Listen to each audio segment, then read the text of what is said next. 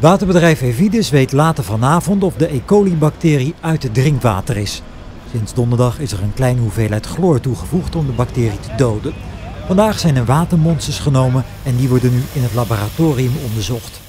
Ja, we meten op uh, verschillende plekken in Vlaardingen, op verschillende momenten. Daarna gaat het naar ons laboratorium. Daar wordt het met verschillende analyses ook uh, gemeten uh, en onderzocht. En dat, daar gaat deze tijd overheen.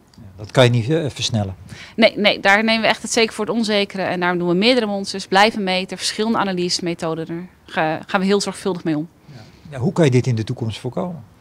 Ja, we hebben al hele strenge protocollen. Daar, daar werken we altijd. Uh, we doen vele honderden projecten per jaar. En uh, we doen onderzoek om te kijken waar het toch dit keer uh, mis is gegaan. Want dit willen we niet dat het nog een keer gebeurt, uiteraard. Dit is erg vervelend. En dat doen jullie zelf, dat onderzoek?